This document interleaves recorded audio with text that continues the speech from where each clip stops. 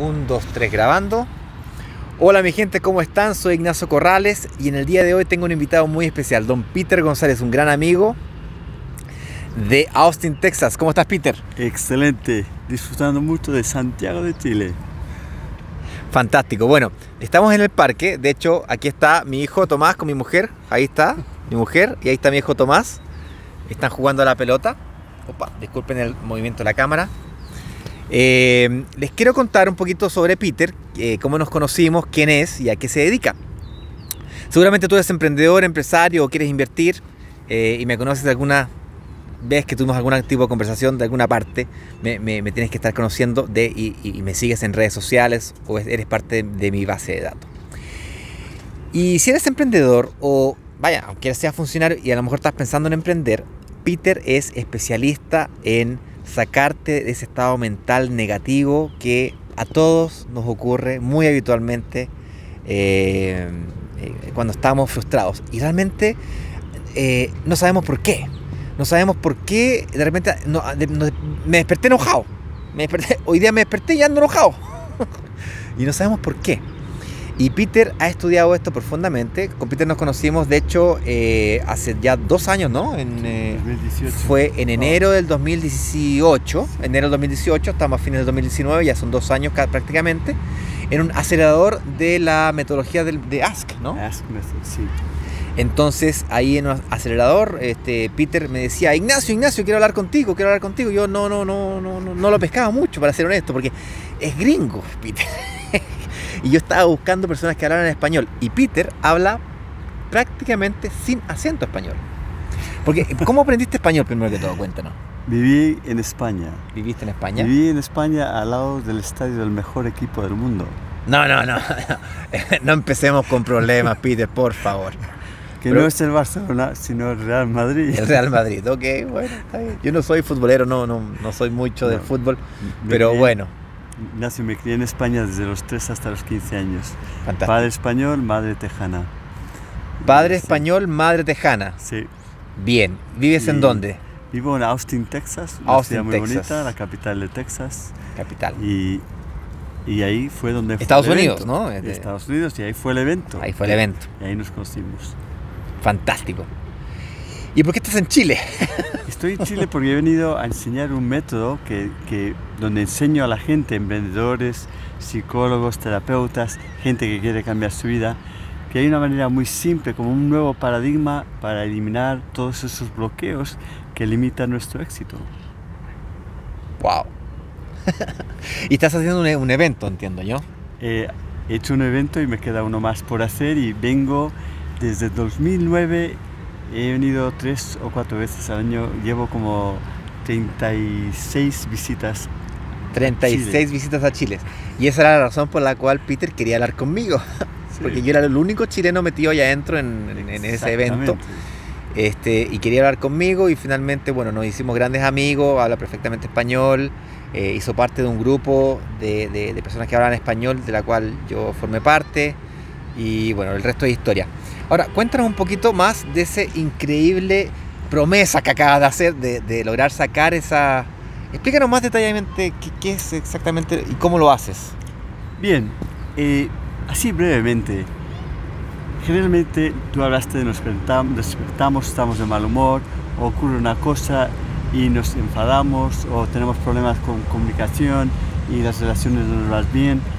Pero hablando del tema para los emprendedores que más les, impacta, son temas como que me siento que me falta confianza para tener más clientes, o me da vergüenza hablar con esta persona de este nivel, o que me doy cuenta que me entra dinero pero no lo manejo y siempre estoy como pendiente del siguiente, de la siguiente venta, que me crea mucho estrés.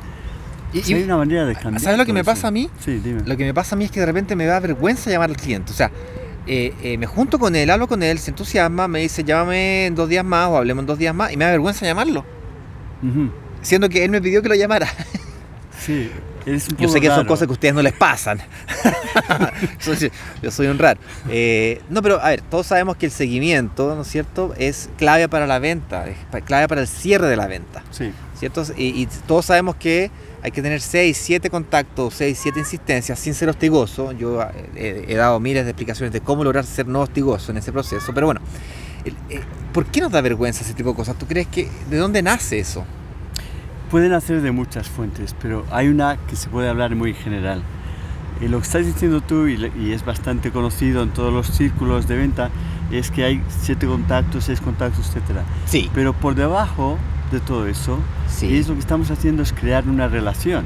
sí, Entonces, más que pensar en que, sí, lo que hacen los contactos es que la persona confíe en nosotros, que sepa un poco más de nosotros, del que entienda producto. nuestro humo- humor y nos vea como un- una persona fiable y que si hay un vínculo, incluso mejor, porque nos sentimos más cómodos. Correcto, pero ¿por qué Ahí- tengo vergüenza? Ahí voy, Ahí ahí voy.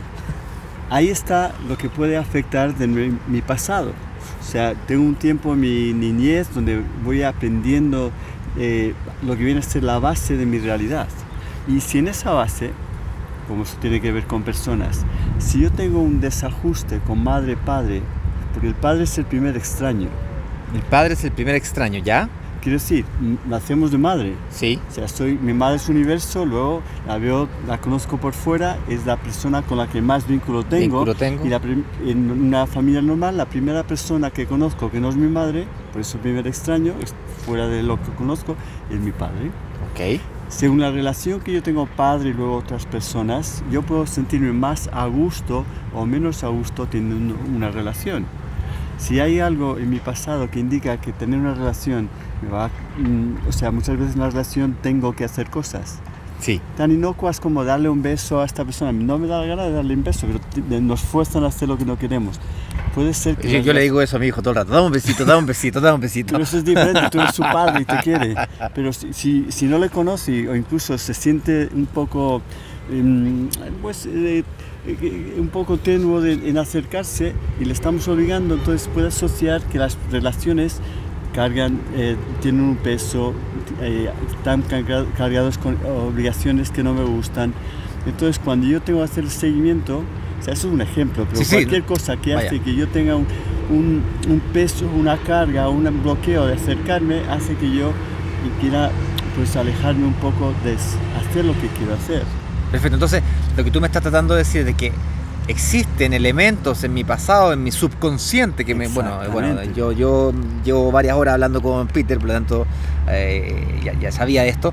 que En el fondo hay elementos que están arraigados en lo más profundo de mi subconsciente, que por cierto mi subconsciente me explicabas ayer que es un millón de veces más rápido que mi consciente. Exactamente. Y yo creo que tomo decisiones en mi consciente, pero en realidad el 90 o quizás el 99% de mis decisiones las toma mi inconsciente. Exactamente. Y en el fondo yo reacciono a comportamientos previos, a, a- a dolores que sentí previamente. O sea, como el ejemplo que me estabas diciendo recién, que si yo me obligaran a darle un beso a alguien y yo no quería darle beso a esa, a esa persona, a ese tío, a ese papá, a, ese- a- a quien sea, yo de repente cuando alguien me pide dame un beso y tengo una reacción de rechazo, a lo mejor viene desde ahí. Puede- puede- obviamente puede venir desde ahí. Pero más importante, diría que el- el- lo que más afecta a los emprendedores es su autovaloración. Autovaloración. ¿Cuánto Muy de acuerdo. ¿Cuánto, Entonces- mira, qué interesante. ¿Cuánto valgo? ¿Cuánto vale mi tiempo? ¿Cuánto me merezco cobrar? ¿Cuánto, ¿Cuánto me merezco cobrar? recibir? ¿Cuánto quiero Sí, recibir? Hay un Sí. estudio que se dice, Sí. Unidos se hizo un estudio que el 85% de las personas que ganaron las mega loterías, por estudiar ese, ese Sí, nicho sí, sí, sí. de personas ganadoras, que en, en menos de 5 años habían perdido ese dinero y a Sí, veces más. en Chile pasa habían- lo mismo. ¿Por qué pasa eso? más. Porque si yo tengo un canal, esto vamos a decir que este canal muy estrecho es lo que en mi, mi subconsciente yo he aprendido es el valor que puedo recibir. Sí, Cuando yo me salgo de esa zona, que viene a describirse también como la zona de confort, ok. hay una tensión que se crea, porque es algo desconocido. Tengo más plata de la que, ok, tengo más dinero del que yo estoy Siento- acostumbrado a tener. Y que te mereces. O que me como- merezco. O como te estás saliendo de esa zona donde está el confort, tu sistema hará lo posible para que vuelvas a sentirte cómodo. No tiene nada que ver con la lógica. Wow. Tiene que ver con unos patrones energéticos que están en el cuerpo que cuando yo tengo demasiado éxito o cuando yo tengo demasiado dinero, que es otra forma de energía, mi sistema se siente un poco fuera de control porque no estoy acostumbrado a tener tanto y hará lo posible para que vuelva a mi zona de Inconscientemente. seguridad. Sin darme cuenta, haré ton- cualquier tontería, lo perderé. Lo perderé. Inversiones malas, la ¿eh? regalaré, lo ¿Cuántos de- prestaré. ¿Cuántos oyentes han tenido esto? Me dan un bonus, 1500. De repente es. ah, te voy a Oh, un a bono, un bono, un- Ah, me está llamando. ¿Qué pasó? Ah, se rompió el coche, ¿te estrellaste? Y sale 1500 arreglarlo. Ah, es justo el valor que me había regalado. Pero pasa así de veces. Claro. ¿Por qué? Porque el sistema me ajusta con cualquier evento, situación, para que esté en esa zona de confort. Wow, qué maravilloso. Entonces, imagínate poder cambiarlo. Imagínate poder cambiarlo. Poder cambiarlo. Y es- se Sí, me trabajo. imagino. Y cuéntanos, no, no sin ánimo de vender a nada ni nada. No, no, eh, no. eh, Es estamos- información. Más que nada, Ignacio, es para que la gente sepa que se puede cambiar.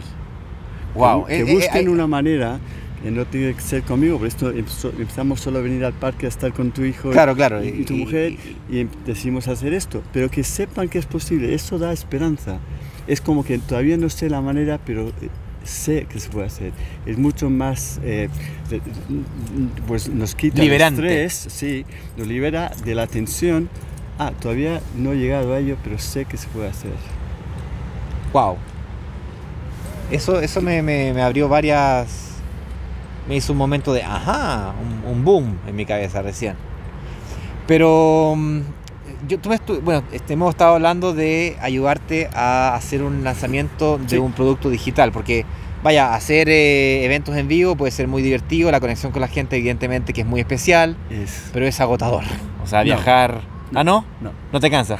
no, eh, la verdad es que me da energía. Te da energía. El, el año que más talleres hice, hice 64, 64 talleres y la- el año tiene 52, o sea, hiciste un promedio de más de uno. claro, más de un taller por semana. Pero lo que pasó Wow. es que al final de ese año estaba reflexionando y dije, porque hay combinaciones de básico y avanzado y tal, a lo mejor he impactado la vida de Por ahí va. 500 personas nuevas. Dije, ¿cuántos millones somos? ¿Cuánto? Claro, o sea, le impacté la vida de 500 personas, es como a- no, no alcanza a hacer ni una gota, en No, no, no, nada. no sé, ni una mi- minimísima parte de un spray de ni una gota. Y dije, ¿cómo puedo impactar la vida de más gente? Ya. Porque como dije, para mí, si yo cuando no sabía que era posible cambiar, estaba siempre en estrés. Sabiendo que es, es posible cambiar, me alivió el estrés. O sea, es un estrés diferente. Es como cuando tengo hambre y no encuentro de comer, veo el restaurante, pero hay tres personas delante de mí. Ah, sí, ya, Voy a- voy a claro, comer, claro, voy a comer. Es cuestión de unos minutos. Ah, me relajo. Correcto. Sé que es posible cambiar, que cualquier cosa en mi subconsciente puedo cambiarla. De momento no lo he hecho, pero por lo menos tengo la esperanza de que es solo cuestión de tiempo para hacerlo. Y el, el programa online es para poder llevar esta información a mucha más gente y luego si quieren puede hacer el evento en vivo. Fantástico. Pero es para, para que la gente aprenda que esto se puede cambiar, que, que no, se desesperen, porque hay tanto sufrimiento en el Bueno, mundo. Yo, te, yo me comprometo contigo, te voy a ayudar a, a- a que crees los elementos necesarios para que ese curso tenga un tremendo éxito en tus próximos lanzamientos. Excelente, querido amigo. Peter, trato hecho. Ahí, ¿no es cierto? Saludos. Bueno, eh, queda un poco largo el video, amigos, pero nos vemos en el próximo video. Déjame tus comentarios, déjame tus preguntas y estamos en contacto. Nos vemos por ahí. Chao, chao.